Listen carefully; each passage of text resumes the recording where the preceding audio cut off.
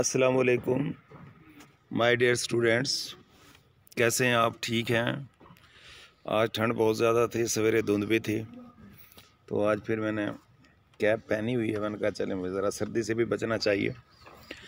तो आज हमारी एक्सरसाइज नंबर आप देखेंगे सेवनटीन और एटीन देखेंगे मेरे बेटे। पहले हम इसको करते हैं, फिर उसके साथ ही हम जो है वो planet visit to a small planet फिर दोबारा करेंगे वहाँ से, जहाँ से हमने उसे छोड़ा था। I am one of those who are to blame I R क्यों आया मेरे बेटे? इसको ज़रा आप देख लेंगे। ये आप इसको देखेंगे ज़रा। वन ऑफ़ दोज जो चीज़ हु विच दैट से पहले होती है। ये हु लिखा हुआ है मेरे बेटे। आपको सेंटेंस नंबर वन में देख रहा हूँ। तो इसमें हु से पहले दोज आया हुआ है। इसी तरह विच से जो चीज़ पहले आएगी, जो दैट से पहले आएगी वर्ब उसी के मुताबिक आएगा। बाद स्टूडेंट्स भूल, मैं ना भूल जाते हैं, वो आई के मुताबिक लगा देते हैं। I am one of those who am to blame नहीं। आप क्या लगाएँगे मेरे बेटे? दोज हु आर हु से पहले दोज है, इसलिए आर लगेगा। अगर ही होता तो इज़ लगता। आई होता इससे फ़ौर पहले तो फिर मैं मैं हूँ एम लगता। इसी तरह से तो I am one of those who are. To receive the guests. अच्छा ना, इज़ ही प्लीज़ आएगा। क्यों आएगा भाई? एक तो ये सवालिया है। क्वेश्चन मार्क है इंट्रोगेटिव सेंटेंस है। दूसरी बात, फिर ये पहले वाला जो अल्फ़ा ऑप्शन है इज़ ही प्लीजिंग लिखा हुआ है। ठीक है ना ना? ये भी है ना इंट्रोगेटिव है। हैज़ ही प्लीस्ड ठीक है ना आप ये भी सवालिया है। इज़ ही बीइंग प्लीज्ड ये भी सवालिया और इंट्रोगेटिव है। लेकिन, आप देखेंगे भाई ये क्यों आया? आप बताएँगे, सर, पहले वाला तो नहीं आ सकता। उसकी वजह ये है, जो इंग फॉर्म है, वो करेक्टरिस्टिक को ज़ाहिर करती है। किसको? खूबी को, खामी को ज़ाहिर करती है। तो इस प्लीज़ फीलिंग को ज़ाहिर करता है। ईडी फॉर्म इमोशंस को ज़ाहिर करती है फीलिंग्स को ज़ाहिर करती है। इसलिए हम इसके साथ लगाएँगे। Is he pleased to receive the guests ये लगाएँगे। उसके बाद आगे। मैंने ये रीज़न इसके लिख दिया मेरे बेटों को दे नज़र आ रही है।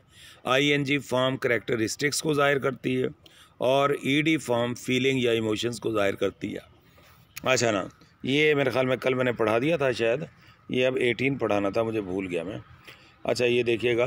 What has been done by you been के बाद कौन सी फॉर्म ये आप बात नोट कर ले मेरे बेटे। इज़ के बाद एम के बाद आर के बाद वाज के बाद वर के बाद बी के बाद बीन के बाद। इंक फॉर्म भी आती है और थर्ड फॉर्म भी यूज़ होती है। अगर तो सेंटेंस है एक्टिव वाइज तो इसके साथ इंक फॉर्म यूज़ होगी। अगर ये पैसे वाइज तो फिर इसके साथ थर्ड फॉर्म क्योंकि पैसे वाइज में थर्ड फॉर्म यूज़ होती है। वट हैज़ बीन डन तो अब हमें इस बात का पता चल गया कि वट हैज़ बीन डन अच्छा ना बाई यू आगे the old man in at two thousand seven the old man क्या आएगा मेरे बेटे? डाइट हमें कैसे पता चला कि ये गुज़रा हुआ सन आ जाए और उसमें सेंस और फार भी ना हो? तो फिर आप उसके साथ क्या लगाएँगे? सेकंड फॉर्म क्योंकि सेकंड फॉर्म की क्या क्या अलामतें हैं मेरे बेटे? वो आप देख लें। उसके अंदर क्या आ जाए? ला, या ना एगो आ जाए। ये लिखा हुआ है। आप देख रहे हैं रीज़न के अंदर देखें ज़रा। एगो आ जाए। जेस्टरडे आ जाए। लास्ट नाइट आ जाए। लास्ट वीक आ जाए। लास्ट मंथ आ जाए। लास्ट ईयर आ जाए। लास्ट डेकेड आ जाए। लास्ट सेंचुरी आ जाए। द प्रीवियस डे आ जाए, द प्रीवियस नाइट आ जाए, द प्रीवियस वीक आ जाए, द प्रीवियस मंथ आ जाए, द प्रीवियस ईयर आ जाए। तो ये सारी अच्छा ये आ जाए। अच्छा द, उसके बाद द प्रीवियस डेकेड आ जाए, प्रीवियस सेंचुरी आ जाए, फॉर ओवर ए डे आ जाए, for over a week, for over a month, for over year आ जाए, फॉर ओवर डेकेड या सेंचुरी आ जाए, या पास्ट ईयर आ जाए कोई, जैसे हमारे इधर 2019 आया हुआ है। इधर हमारे सेंटेंस में क्या था? वो था 2007 ये गुजरा हुआ साल है। तो ये हमें बताता है कि आपने वर्ब की सेकंड फॉर्म लगानी है। तो फिर इसमें साथ आएगा डाइ अच्छा डाइट आ जाएगा। फिर वाज डाइट क्यों नहीं आएगा? ठीक है ना? मेरे बेटे बताएँगे। एक तो ये थर्ड फॉर्म है। दूसरा डाइट के साथ वाज वर्ब तो आ ही नहीं सकता। ठीक है ना? वो उसकी वजह क्या है मेरे प्यारे बेटे? उसकी वजह है कि डाइट खुद एक पैसे वाइज वर्ब है तो इसलिए मज़ीद इसके साथ वाज वर्ब लगाकर मज़ीद पैसे वाइज बनाने की ज़रूरत नहीं होती। उसके बाद आगे देखिएगा। वन ऑफ़ द बॉयज़ ठीक है ना ना क्या आएगा मेरे बेटे?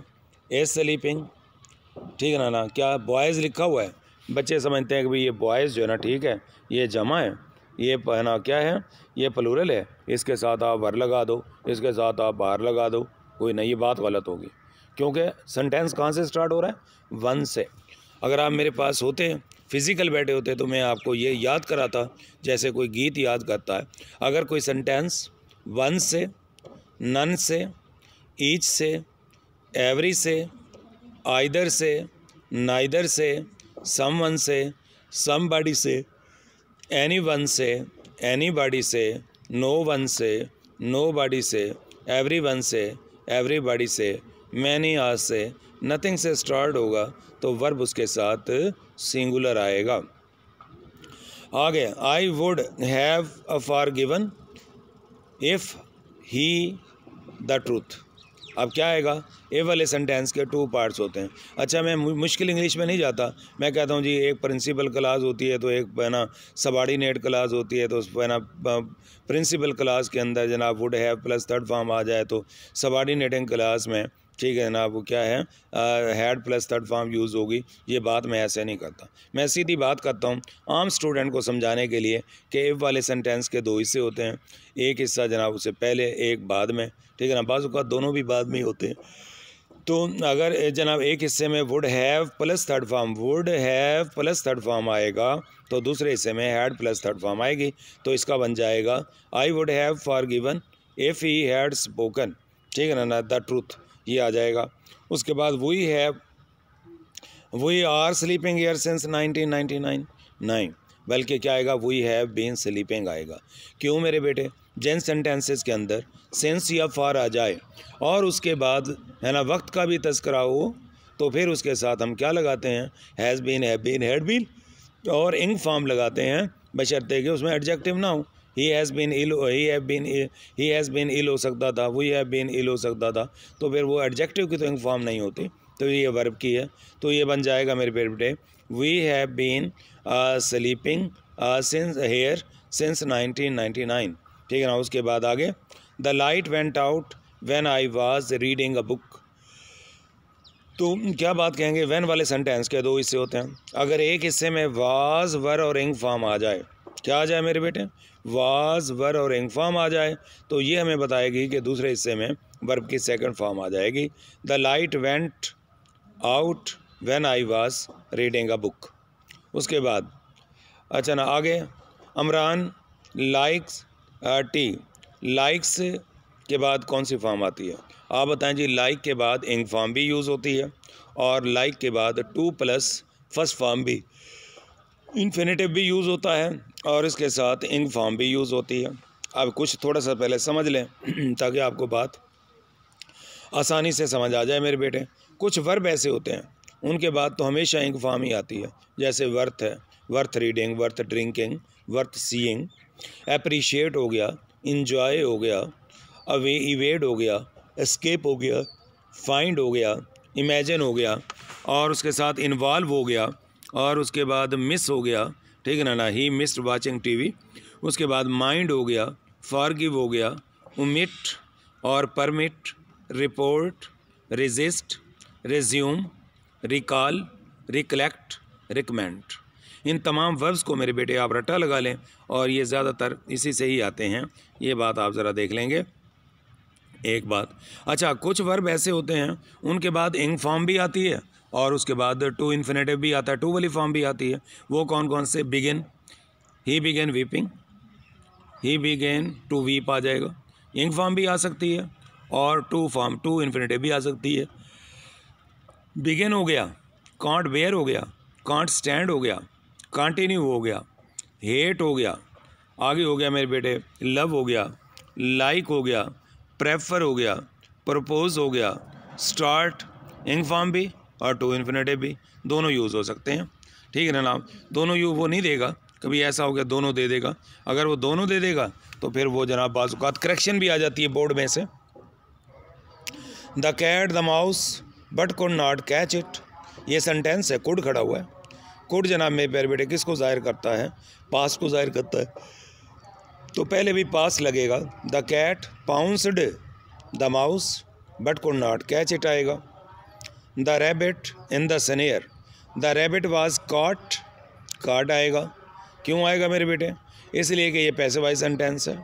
ठीक है ना रेबिट किसी को सनेयर में नहीं फंसाता।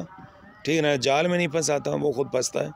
द रेबिट वाज काट इन द सनेयर आ जाएगा। इस कैच नहीं आ सकता। हेड काट भी नहीं आ सकता।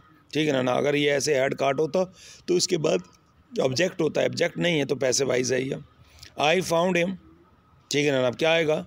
लाफिंग टुगेदर फाउंड ये मेरे बेटे आपको बात समझ आ रही है। और उसमें क्या है मेरे बेटे? कि फाइंड के बाद इंक फॉर्म आती है, ये आप देखें, ज़रा मैंने आपको अभी दिखाया ये फाइंड हुआ है, ये तकरीबन आप देखिएगा, ये एस्केप के बाद जो है ना, ये फाउंड खड़ा हुआ है। आप इसको ज़रा देख लें एस्केप फाइंड इमेजन इसमें देखें। तो इसके बाद इंक फॉर्म आती है। ये बात मेरे बच्चों को पता चल गया। और उसके बाद अब चलते हैं जनाब आपके प्ले की तरफ़। और प्ले हमने पढ़ा था हमने बात की थी, क्या जनाब? ये बात हो गई थी। ये एलन है। ठीक है ना, नाम? ये मैंने आपको दिखाया था। अच्छा मिडिल एज ये हो गया माइक्रोफोन अच्छा स्पेलिंग ये अकॉर्डिंग टू ये हो गया, उसकी ज़िंदा दिली, ये सारी सारी बातें ख़त्म हो गई। उसकी ज़िंदा दिली, ये सारी ख़त्म हो गई, ये बात हमारी हो गई। उसके बाद जनाब थैंक यू नौजवानों, चले जाते हैं। अच्छा ना? उसके बाद वट इज़ कीपिंग जॉन अच्छा ना, उसके बाद आगे है स्टार भूखे मरेंगे। अच्छा ना, ये यहाँ से था मेरे बेटे। स्पेल्डिंग सर्टनली नॉट वर्क अच्छा इतनी देर में वो कहती है, पता नहीं किस चीज़ ने, ये जान आपको सामने नज़र आ रहा है। तो जनाब, वो जनाब हैं एलन जो है, वो अपने मंगेतर अपने मंगेतर के बारे में बहुत ज़्यादा फ़िक्रमंद है और परेशानी है, क्योंकि नई नई मंगनी हुई है। तो इसलिए जनाब, वो बड़ी परेशान है कि पता नहीं कहाँ चला गया। आई वंडर मैं सोच रही हूँ वट इज़ कीपिंग जॉन के जान को किस चीज़ ने रोक रखा है? ठीक है ना नाब है? स्पेल्डिंग इतनी देर में कहता है। सर्टनली नॉट वर्क ठीक है ना नाब उसको काम ने तो नहीं रोक रखा होगा। तेरा मंगेतर निकट्टू है, निकम्मा है, दियाती है। कहीं ना कहीं पड़ा होगा। वो काम तो करता नहीं है। हट आराम आदमी है। ठीक है ना नाब तो इसके बाद जनाब इतनी देर में एलन चिड़ कर कहती है। ठीक है ना एग्ज़ाम में ये क्वेश्चन भी आता है। सिर्फ़ आप इसे इंजॉय ना करें, बल्कि आप इसके क्वेश्चन भी देखें। और वो क्या है मेरे प्यारे बेटे? आता है जनाब हाउ डज़ एलन डिफेंड ठीक है ना, हर फ्यान से वो अपने मंगेतर को कैसे डिफेंड करती है लिखा हुआ है। ठीक है ना नाम? Ellen oh daddy stop it इसे रोको। जान वर्क्स वेरी हार्ड मेरा जान, मेरा मंगेतर जो है, वो बड़ी मेहनत करता है। एंड यू नो इट और आपको इसका इल्म भी है।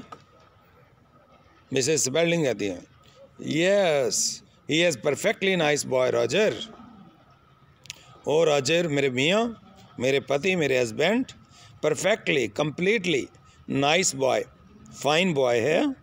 आई लाइक हिम मैं उसे पसंद करती हूँ। स्पेलिंग कहता आई नो मैं जानता हूँ। आई नो मुझे मालूम है। ही हैज़ एवरी वर्चू उसमें एक एक खूबी है, एक एक अच्छाई है। Virtue goodness nobility excellence except the most important one सिर्फ़ उसमें एक इंपॉर्टेंट माने valuable significant imperative one he has no get up and go न सवेरे उठता है न जाता है मुराद उसमें एनर्जी नहीं है। तोानाई जोशो खरोश एंथ्यूज़िज़म फरवर एनर्जी नहीं है पावर एफिशिएंसी पोटेंसी जोशो खरोश नहीं है।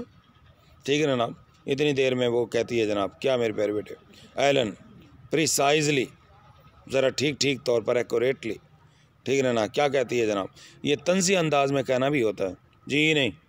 He does not want to get up मेरे मंगेतर को सवेरे उठने की ज़रूरत भी नहीं है। Get up means rise and he does not want to go ना ही वो जाना चाहता है। बिकॉज़ क्योंकि he is already where he wants to be वो तो पहले वहीं होता है जहाँ उसको होना चाहिए। कहाँ? खेत में जाना चाहिए ना? तो खेत में तो वह सोता ही है। वहीं खेत पे उठता है, उठ के काम करना शुरू कर देता। विच इज़ एग्जैक्टली ठीक है ना ना where I am going to be और ये फार्म तो वो जगह है जहाँ मैं चली जाऊँगी। When we are married when we are wedded जब हमारी शादी हो जाएगी तो फिर मैं भी वहीं चली जाऊँगी। ठीक है ना? स्पेलिंग कहता मोर थैंकलेस ज़्यादा ना शुक्रा है तेने सरपेंट्स ट्रुथ सांप के डंग से भी ज़्यादा ना शुक्रा है। इज़ एन अनग्रेटफुल चाइल्ड एक थैंकलेस अनथैंकफुल एक अनसिविल चाइल्ड क्या मतलब इसका मतलब मेरे बेटे? ये दरअसल शेक्सपियर के एक कोटेशन है। असल प्रवर्ब है, वो मैंने नीचे लिख दी है। ये ब्लैक में आपको नज़र आ रही है मेरे बेटे। आप देखिएगा। मोर डेडली ज़्यादा खौफनाक होता है देन ए सरपेंट्स टूथ सांप के डंग से भी ज़्यादा ख़तरनाक होता है। इज़ एन अनग्रेटफुल चाइल्ड एक एहसान फरामोश बच्चा। एक एहसान फरामोश आदमी सांप के डंग से भी ज़्यादा ख़तरनाक होता है। ठीक है ना ना? लेकिन उसने मोर डेडली के बजाय मोर थैंकलेस लगा दिया। ठीक है ना? इतनी देर में एलन जनाब उसकी बेटी, उसकी जनाब क्या है? तसी करती है, उसकी करेक्शन करती है। अब्बा जी, ये बात नहीं I don't think that is right अब्बा जी, मेरे ख्याल में आपने शेक्सपियर की ये कोटेशन ये ज़रबुल मिसल जो है, वो आपने अच्छी तरह से नहीं पढ़ी, सही सही नहीं पढ़ी। एजेंट द मोर डेडली क्या उसमें मोर डेड मोर थैंकलेस नहीं है, बल्कि मोर डेडली है। इसलिए मैंने आपको लिख दिया, ताकि आपको बात समझ आ जाए मेरे बच्चों को। उसके बाद जनाब एल अच्छा आगे जहाँ स्पेलिंग कहता है whatever the exact quotation is exact proverb जो भी हो एग्जैक्ट माने ठीक ठीक प्रिसाइज एक्यूरेट करेक्ट ट्रू अच्छा ना, आगे कोटेशन जरबल मिसल को भी कहते हैं साइटेशन हवाला एक्सट्रैक्ट इकतबास को भी कहते हैं मेरे बेटे। आई आई स्टैंड बाई मैं तो हिमायत करता हूँ। स्टैंड बाई मैंने सपोर्ट करना। द सेंटीमेंट मैं जज्बात की बात कर रहा हूँ। Mrs Fielding please don't quarrel oh, मत लड़ो। क्वर्ल माने लड़ना आर्ग्यू देना, तू तकार करना बिकरिंग करना।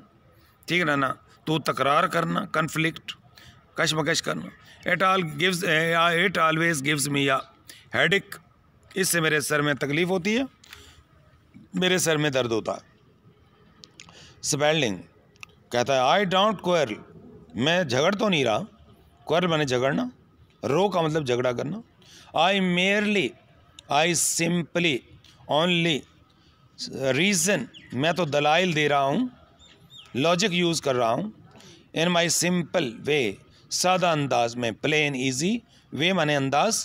एयर का मतलब अंदाज मैनर का मतलब अंदाज। मेथड का मतलब अंदाज style, with Miss know it all, अपनी आलमा फाजिला बेटी से। हैं? मिस नो इट ऑल माने genius, intelligent, brilliant, brainy, thinker master mind से बात कर रहा हूँ यार यहाँ पर। एलन फिर पूछ दिया, ओ डैडी, ए बजान, next you will tell me, आप मुझे बताएँगे कि I should marry for money. आप तो हर वक्त कहते रहते हैं। कि जनाब मुझे के अमीर बंदे से, वेल्दी से, रिच से शादी करनी चाहिए। इसका क्या फ़ायदा होता? है इससे क्या मुराद है कि वो जनाब जो है, एलन पे नोट आ जाता है मेरे बेटे। आप लिखेंगे, Ellen is a contented girl ठीक है ना ना she is not greedy she is not avaricious ठीक है ना ना, वो लालची, हरीस खुद गर्ज self selfish selfie self seeking नहीं है। लविंग गर्ल है, मोहब्बत करने वाली है। उसका बाप जब क्या कहता है, वो ग्रेडी है एम्बिशियस है ईगर है मनी माइंडेड है, मनी ग्रबिंग स्पिरिट है, रकम की प्यासी रूह है उसका बाप। स्पेलिंग कहता है there is nothing wrong there is nothing incorrect कोई भी गड़बड़ नहीं होती। With marrying a wealthy man अमीर बंदे से शादी करने में क्या अर्ज़ है? द होरर ऑफ़ इट लेकिन तू अमीर बंदे से बेदकती है, डरती है हेट डिसलाइक करती है। Of it has always eluded me ये बात मेरी समझ में नहीं आती। कि तो अमीर लड़कों से क्यों नहीं मोहब्बत करते? उनसे शादी क्यों नहीं करते? ठीक है ना आप एक गरीब कंगले से एक किसान के बेटे से आपने शादी करके ना मंगनी करके बैठ गई है। कैसा क्यों है? हाउ एवर ताहम my only wish is that मेरी वाद ख्वाहिश ये है that you marry someone hard working ambitious am ambitious तो तुम मैं शादी कर। हार्ड वर्किंग इंटेलिजेंट इंडस्ट्रियस मेहनती डिलीजेंट बंदे से शादी कर। ठीक है ना जो एम्बिशियस हो। जो ईगर हो इंथ्यूजियस्टिक हो। फेवरेट हो डिज़ायरस हो। और मैन एक ऐसे बंदे से शादी कर। Who is who will make his mark in the world जो दुनिया में नाम पैदा करे, जो कामयाब हो। नॉट अब ना कि एक छोकरे से शादी करके बैठ जाए लड़के से। हु प्लान्स हर वक्त जो मंसूबे बनाता रहता है। To sit on a farm अपने खेत पर बैठ कर all the life all his life all the time growing peanuts और मूँगफलियाँ उगाता रहे। जब उसने मूँगफली का नाम लिया तो एलन चिढ़ गई। ओ इंग्लिश वालनट ए अब्बा जान, मेरा मंगेतर मूँगफलियाँ नहीं उगाता। वो अखरोट उगाता है, जनाब। ठीक है ना ना। उसके दलाइल दिए डिफेंड कर रही है अपने फियांसे को। सबेल्डिंग कहता है well you stop correcting me well you cease rectifying me क्या तुम मेरी सलाह मुझे समझाना बंद करोगी? एलन कहती है, but dad, daddy, John grows walnut. John तो जनाब अखरोट उगाता है। इतनी देर में जान एंटर्स दाखिल हो गया। ये कमरे में देखें, आप दाखिल हो रहा। ब्रीदलेसली इसकी सांस फूली हुई है गैसपिंग हाँप रहा है पेंटिंग हाँप रहा है। जान आकर कहता है कम आउट जल्दी बाहर आ जाओ। क्विक जल्दी करो। It is coming this way वो जो उड़न तश्तरी आ रही है, जिसे कहते हैं मीटियर है साहब शाकिब है साहब शाकिब है, साकिब है, इसको ज़रा देखें। It is going to land ये तो उतर रही है। ठीक है ना ना राइट ईयर एन हमारे घर में उतर रही है। Spalding what is going to land क्या चीज़ उतर रही है? जान कहता द स्पेस शिप वो देखो लुक देखो। ये स्पेस शिप देखो, उतर रहा है भाई। आपको हमने दिखाया है। ठीक है ना स्क्रीन के ऊपर आप देख रहे हैं। स्पेल्डिंग अपेरेंटली सीमिंगली लगता है। You didn't hear my broadcast तुमने मेरी नशरियात नहीं सुनी। ब्रॉडकास्ट माने? ट्रांसमिशन ठीक है ना नाम? उसके बाद जनाब द फ्लाइंग ऑब्जेक्ट ये जो उड़ती हुई चीज़ आ रही है इन क्वेश्चन अंडर डिस्कशन जेर बहस जो चीज़ है इज़ अ मीटियर ये शहाब साकिब है नॉट अ स्पेसशिप ना कि कोई खलाई जहाज़ है। John has gone out with Ellen. Ellen को लेके जाना चला गया है। ये जा रहे हैं दोनों। ठीक है ना ना? Spalding and Mrs Spalding follows वो इनके पीछे आ रहे हैं। वो भी दोनों जा रहे हैं। और आपको दिखाए गए स्क्रीन पर, इदारा हर तरह से कोशिश करता है कि आपको एक एक बात क्लियर आपके कंसेप्ट क्लियर करें। आपका भी काम है कि आप पढ़ें, मेहनत करें। दयानतदारी के साथ अपने पेपर्स अटैम्प्ट करें।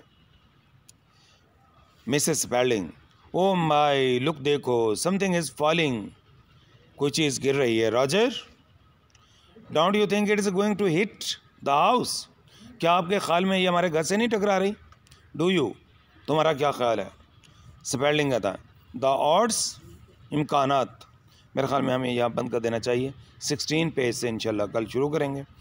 तो आ, सर जो ना इसको बंद करते हैं क्योंकि ज़्यादा लेक्चर फिर आपके लिए बोरिंग हो जाएगा। तब तक के लिए हाफिज़।